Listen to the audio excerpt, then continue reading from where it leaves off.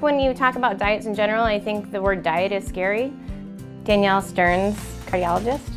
The people that live around the Mediterranean Sea live longer, have less heart disease, less diabetes, less cancer. It's interesting if you look at the pyramid of the Mediterranean diet, the base is lifestyle. So eating dinner with your family and doing activities outside with your children, getting good rest at night, and having that social support at home, and that's the base of your diet. The next tier has to do with fruits, nuts, vegetables, legumes, olive oil, good seasonings, and spices. And then the next tier is poultry, fish, and then you get up into just a few saturated fats, maybe red meat once in a while, maybe sugar once in a while, but a very small portion of that, and then a splash of red wine. I think it's a very logical diet. You can use it on a daily basis. You can actually go about your life, go out to dinner, have meals with friends and family, and not stick to a point system.